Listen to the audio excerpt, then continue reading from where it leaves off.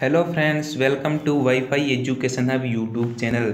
स्वागत है दोस्तों आप सभी का WiFi education hub YouTube channel में।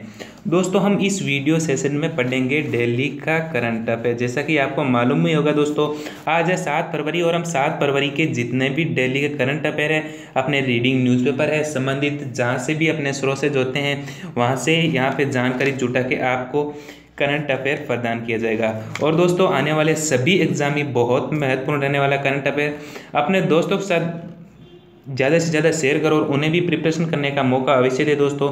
अभी तक आपने अगर चैनल सब्सक्राइब नहीं किया फ्रेंड्स तो सबसे पहले आप चैनल को सब्सक्राइब कर ले। पास में लगी बेल आइकन भी दबा ले ताकि लेटेस्ट वीडियो और गवर्नमेंट जॉब से संबंधित अपडेट आपको समय समय पर मिलते रहे। चलिए दोस्तों, अपने पहले प्रश्न की बात करते हैं। पहला प्रश्न है आज का अपना। हाल ही में आपदा प्रबंधन ड्रोन ने माइक्रोसॉफ्ट चैलेंज जीता है, यह किसके द्वारा निर्मित किया गया है? माइक्रोसॉफ्ट चैलेंज की बात की दोस्तों यह किसके द्वारा निर्मित किया गया है? आपको बताना है। आपदा प्रबंधन ड्रोन है माइक्रोसॉफ्ट चैलेंज जीता है। तो यह किसके द्वारा निर्मित किया गया है? यह किया गया है आईआईटी मद्रास के द्वारा निर्मित किया गया है। किसके द्वारा? आईआईटी मद्रास के द्वारा। और दोस्तों, इसके द्वारा, आपदा प्रबंधन ड्रोन के द्वारा, यहाँ पे नाम से पता चलता है आपदा प्रबंधन। यानी कोई भी आपदा हो तो वहाँ फंसे लोगों को सटीक जानकारी वहाँ पर प्रदान करने के लिए इसको मतलब है, निर्मित किया गया है। और यहाँ पे जो माइक्रोसॉफ्ट चैलेंज है दोस्तों, ये आईआईटी मद्रास ने जीता है। यहाँ पे आप कह सकते हैं आईआईटी मद्रास कह सकते हैं, क्योंकि इनके द्वारा निर्मित है। तो यहाँ पर दूसरा और तीसरा किताब किसने जीता, यह भी आपको ध्यान रखना है, उनसे निर्मित सॉफ्टवेयर वगैरह से। तो यहाँ पर सेकंड तो आता है आईआईटी गुवाहाटी का नंबर आता है सेकंड और थर्ड नंबर पे आया था आईआईटी जोधपुर का नंबर आया था। आईआईटी जोधपुर थर्ड नंबर पे था और सेकंड नंबर पे गुवाहाटी था। और पहले नंबर पे आप कह सकते हैं आईआईटी मद्रास। चलिए दोस्तों, अपने अगले प्रश्न की बात करते हैं। आज का अपना दूसरा क्वेश्चन है। तो अगला प्रश्न अपना, मुगल गार्डन कहाँ स्थित है? मुगल गार्डन के बारे में बात की दोस्तों अभी न्यूज़ में है काफ़ी तो आपसे यह पूछ लिया गया है। तो यहाँ पे जो अपना सही आंसर है दोस्तों, वो हो जाएगा सी बिल्कुल सही आंसर है, यानी नई दिल्ली के अंदर स्थित है मुगल गार्डन। तो फ्रेंड्स अपन नई दिल्ली की बात करते हैं। यहाँ के सीएम कौन है? यहाँ के सीएम है अरविंद केजरीवाल जी। यहाँ के सीएम है आपको मालूम ही होगा।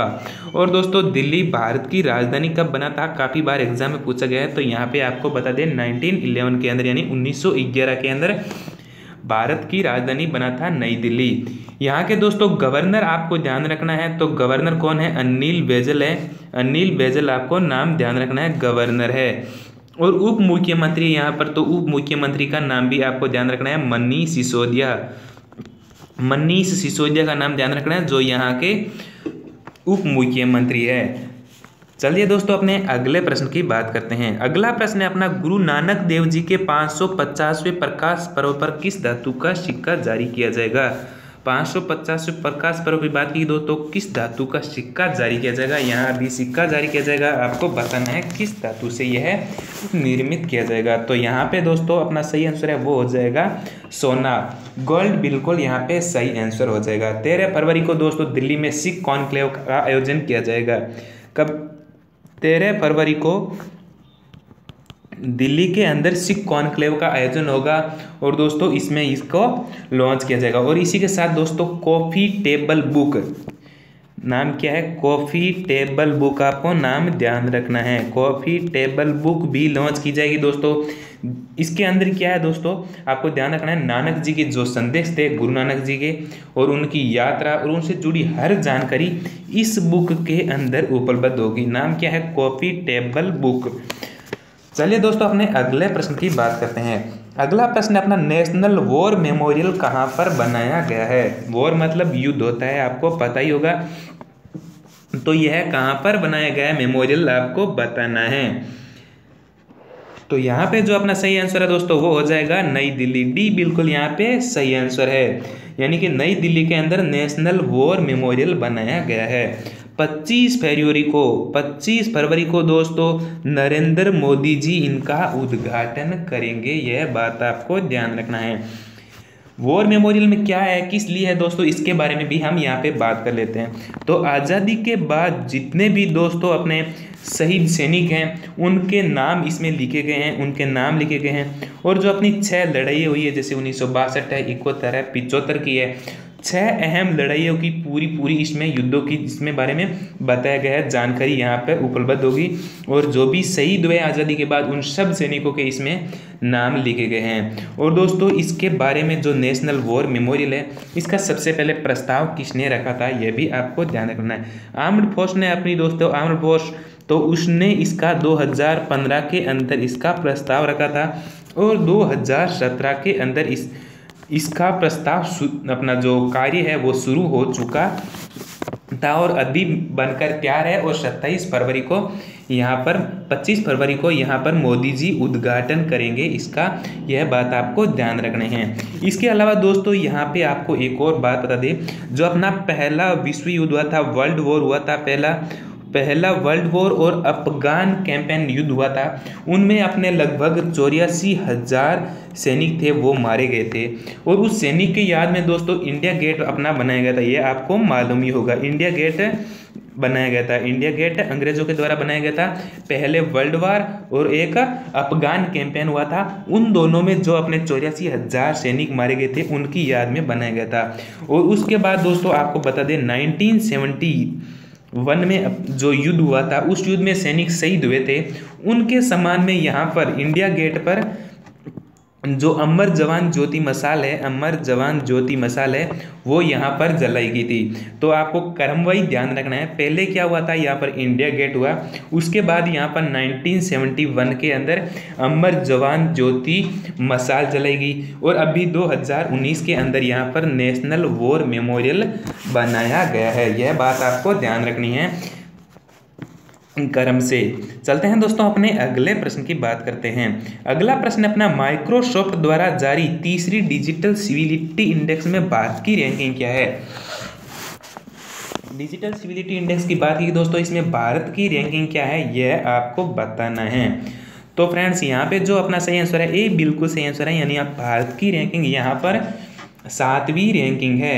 और दोस्तों, जो अपना मंगलवार था, उस दिन अपना मनाया गया था सेफर इंटरनेट डे आपको ध्यान रखना है सेफर इंटरनेट इंटरनेट डे मनाया गया था यहाँ पर। तो उस दिन दोस्तों, इसके बारे में यहाँ पे इंडेक्स जारी किया गया और यहाँ पे बताया गया कुल जो बाईस देश हैं, उनकी यहाँ पे सर्वे किया गया। अट्ठारह से सैंतीस ईयर के जो भी लोग हैं, उन पे सर्वे किया गया, वोटिंग की गई। तो यहाँ पे अपनी भारत की रैंकिंग बताई, सातवीं रैंकिंग बताई गई है। किस पे है ये डिजिटल सिविलिटी इंडेक्स यह आपको दोस्तों समझ में आया गया है। उम्मीद करता हूँ, अगर नहीं आया तो और भी आपको इसमें बता देता हूँ। यानी कि जो ऑनलाइन अपन बातचीत करते हैं किसी से वगैरह तो ऑनलाइन शिष्टाचार पे यह आधारित है। ऑनलाइन शिष्टाचार पे यह आधारित है, आपको ध्यान रखना है। अब बात कर लेते हैं दोस्तों माइक्रोसॉफ्ट की। तो माइक्रोसॉफ्ट कब फाउंडेड हुआ था? चार अप्रैल 1975 को माइक्रोसॉफ्ट फाउंडेड हुआ था और इसके फाउंडर कौन थे, ये बात आपको पता रखनी है। तो यहाँ पे फाउंडर थे बिल गेट्स। बिल गेट्स और एक नाम और याद रखना है, पॉल एलेन। पॉल एलेन थे जो इसके फाउंडर थे। बिल गेट्स और पॉल एलेन इसके फाउंडर थे। इसका दोस्तों हेड क्वार्टर आपको ध्यान रखना है तो वाशिंगटन के अंदर इसका हेड क्वार्टर है माइक्रोसॉफ्ट का। आगे बात करते हैं दोस्तों, अभी वर्तमान में इसके चेयरमैन कौन है? तो जोहान डब्ल्यू थॉम्पसन नाम याद रखना है। जोहान डब्ल्यू थॉम्पसन इसका नाम है। वो चेयरमैन है। चेयरमैन से ज़्यादा आपको नाम याद रखना है। सीईओ कौन है? सीईओ के बारे में काफ़ी बार पूछा गया है। तो सत्य नडेला। सत्य नडेला है जो अभी माइक्रोसॉफ्ट के सीईओ है। तो ये बात थी दोस्तों माइक्रोसॉफ्ट और भारत के जो अपना डिजिटल सिविलिटी इंडेक्स है इसके बारे में। अब बात करते हैं अपने अगले प्रश्न की। अगला प्रश्न है, हाल ही में कहाँ पर गांधी सप्ताह का आयोजन किया गया है? गांधी सप्ताह की बात की दोस्तों कहाँ पे इसका आयोजन हाल ही में किया गया है? तो यहाँ पे अपना सही आंसर है दोस्तों, नई दिल्ली बिल्कुल सही आंसर है। यानी नई दिल्ली में गांधी सप्ताह का आयोजन किया गया है। दोस्तों, दिल्ली विश्वविद्यालय का जो गांधी भवन है, उसके अंदर आयोजन किया गया था और तीस जनवरी से, आपको बता दें, तीस जनवरी से पाँच फरवरी पाँच फरवरी तक सप्ताह, गांधी सप्ताह मनाया गया था। यह बात आपको ध्यान रखनी है।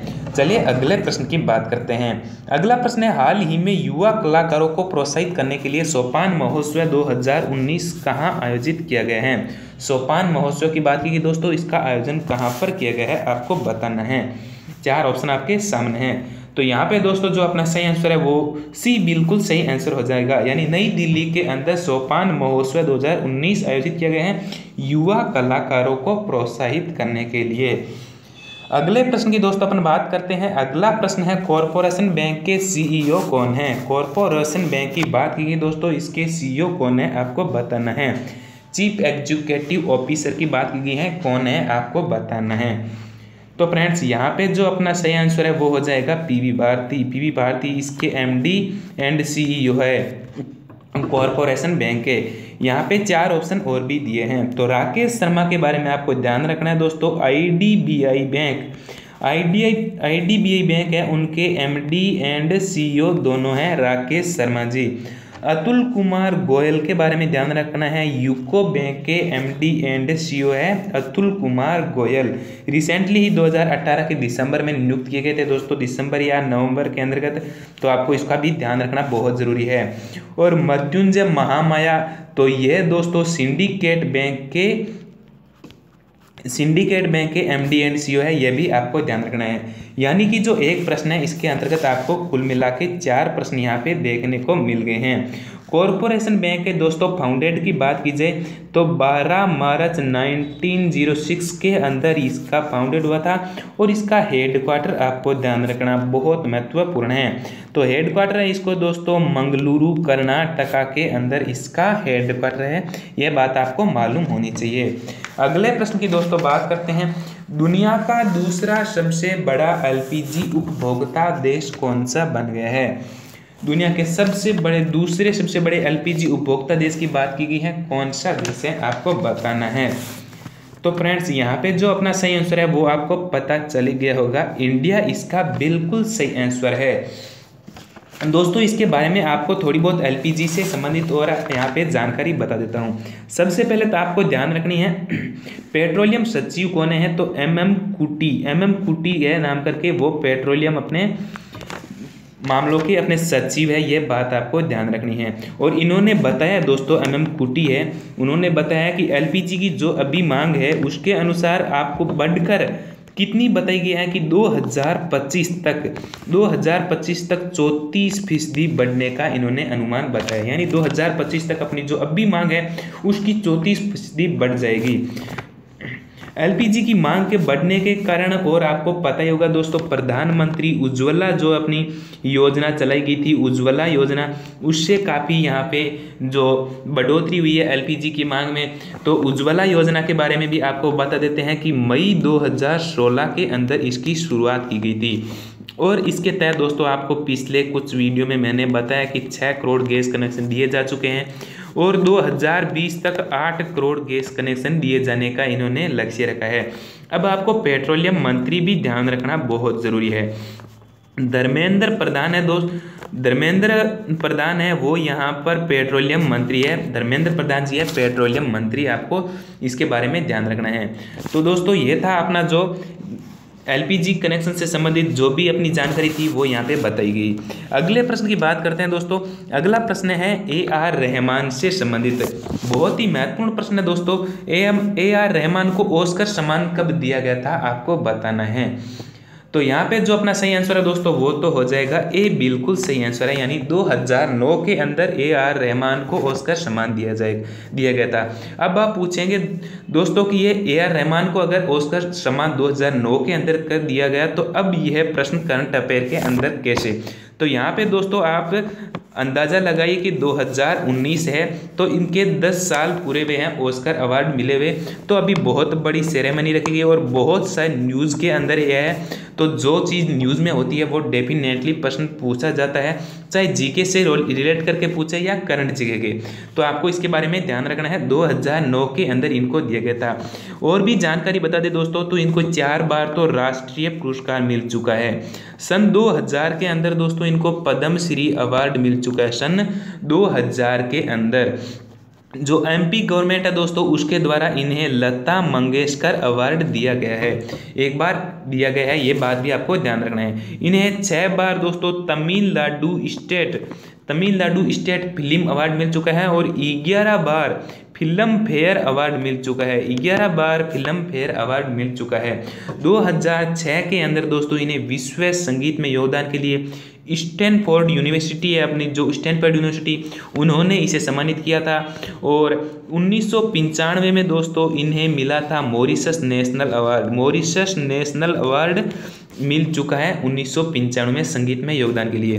अब दोस्तों, इनका जो बेस्ट साल रहा वह 2009 2009 के अंदर उन्हें कुल तीन अवार्ड मिले।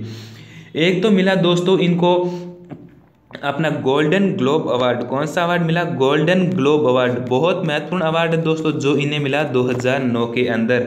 2009 के अंदर ही दोस्तों इन्हें मिला जो अपना ऑस्कर अवार्ड की भी बात कर रहे हैं, वो भी मिला इन्हें 2009 के अंदर। 2009 के अंदर ही इसे दोस्तों दो बार ग्रेमी अवार्ड मिला। दो ग्रेमी अवार्ड है जो इन्हें मिला था।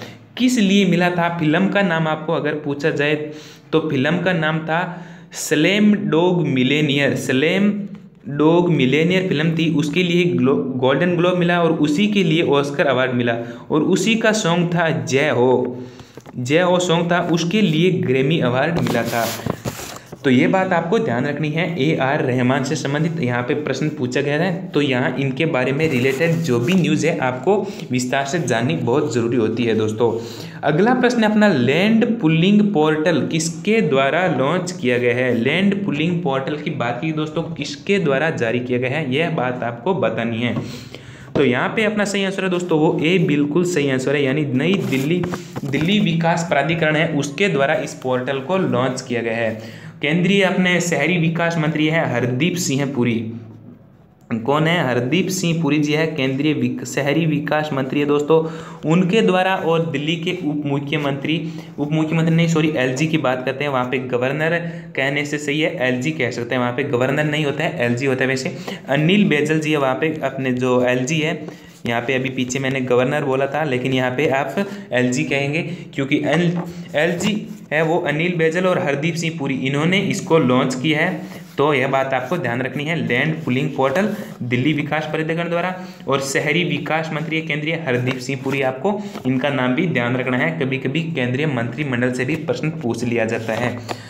तो दोस्तों यह था आज का अपना महत्वपूर्ण करंट अफेयर सेशन वीडियो अच्छा लगे दोस्तों लाइक ज़रूर करें, अपने दोस्तों के साथ ज़्यादा से ज़्यादा शेयर करें।